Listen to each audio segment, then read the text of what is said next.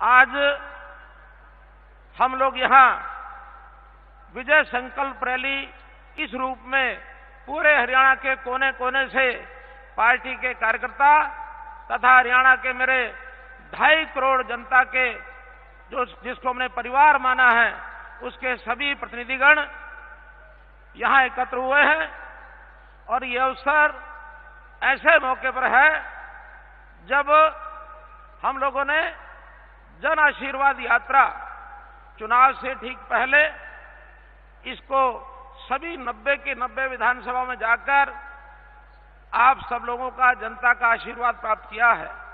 भाइयों बहनों, हमारी ये यात्रा ठीक चुनाव से पहले हम लोगों ने की है। प्रधानमंत्री जी, मैं आपको बताना चाहूँगा कि 1966 में जब हरियाणा बना था 48 वर्षों में इस प्रदेश में पिछली सरकारों ने खूब अनियमितताएँ की। कोई भी व्यवस्था इस प्रकार की नहीं बनाई कि जनता को इसको सीधा सीधा लाभ हो सके।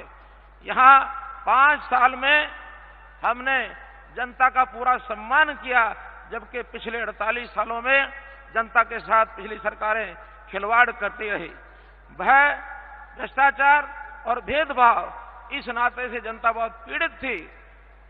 पाँच साल पहले आपके आशीर्वाद से जनता ने हमको पहली बार भारतीय जनता पार्टी की बहुमत की सरकार सौंपी थी।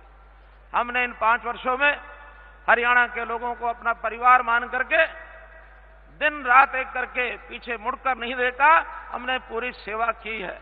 विकास के काम भी बिना किसी भेदभाव के, चाहे कहीं भारतीय जनता पार्टी का विधायक रहा हो, चाहे न रहा हो, हमने हर क्षेत्र में विकास के काम किए, सैकड़ों करोड़ रुपए के हर विधानसभा के अंदर काम हुए हैं।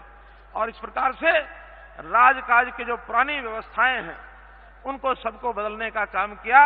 एक प्रकार से राजनीति का मायना ही हमने बदल दिया। आने वाले पाँच वर्ष में, गाँव हो चाहे शहर हो चाहे बस्ती हो, हर रसोई में पीने का साफ़ पानी ये हम नल लगाकर, नल से जल व्यवस्था के अंतर्गत हर रसोई पहुँचा देंगे ताकि हमारी बहनों माताओं को दूर से जो पानी लाना पड़ता है, उससे उनको निजात मिले। इसी प्रकार ईज ऑफ़ डूइंग बिज़नेस में हम लोगों ने हमारा जो रैंकिंग 2014 में, चौदहवें नंबर पर थे, हमारी रैंक कर सुधार करके उत्तर भारत में हम प्रथम स्थान हमने प्राप्त किया है। इस प्रकार से काम हमने बेतहाशा किए और इन कामों के कारण से आज जनता आज जनता, इसका प्यार हमको मिल रहा है।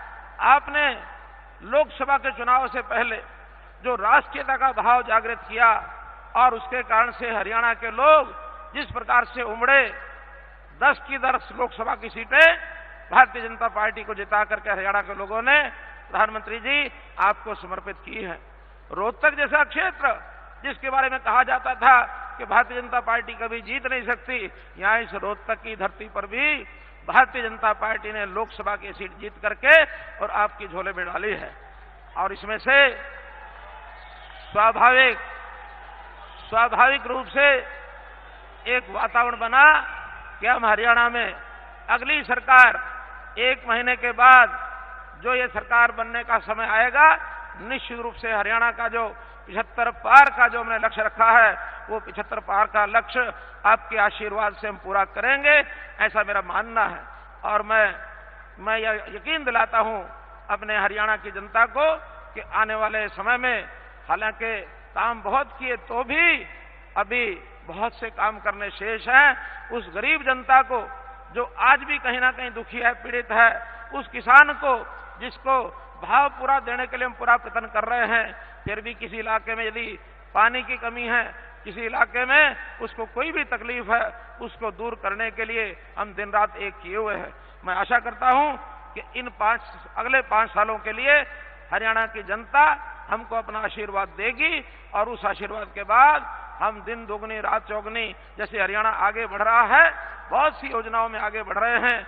उन योजनाओं का बहुत से प्रदेश तो ऐसे हैं जो हमारी योजनाओं को फॉलो भी कर रहे हैं। तो इन चीज़ों को और आगे बढ़ा करके हम हरियाणा को देश के सभी राज्यों में सबसे आगे लाएँगे।